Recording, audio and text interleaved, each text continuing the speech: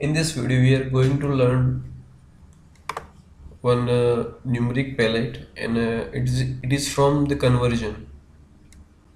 Okay so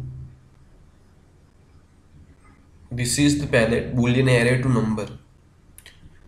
So as we discussed in our previous video that uh, how we are getting that boolean array from a number using the palette number to boolean array now this is the reverse thing.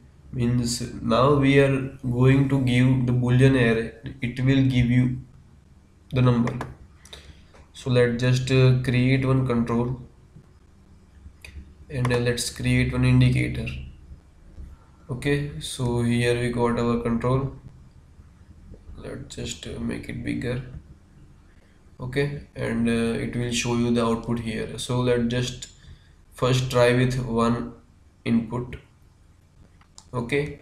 If you if you enable first boolean it will give you number one.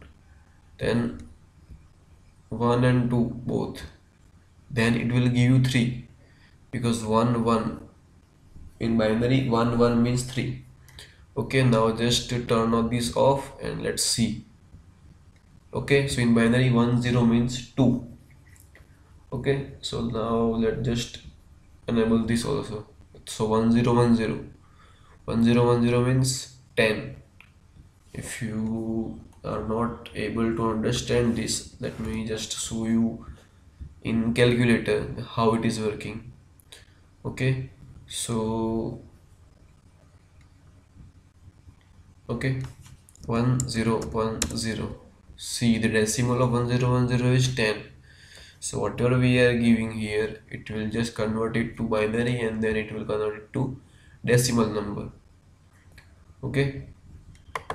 Now let if we are if we can change that display format and let's try to change it to hexadecimal okay So 10, 10 means A, C. The hexadecimal of 1010 is A. Okay, so it is printing the hexadecimal form. Now let me just uh, make it the decimal one. Okay, now one, one zero one zero 26 okay let's just try here 11010 26 in decimal form. Okay so this is how it is working. Boolean array to number.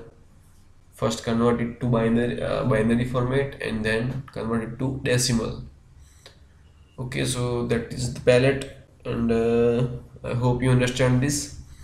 And if you don't understand anything just comment below so that i can answer it easily and uh, thanks for watching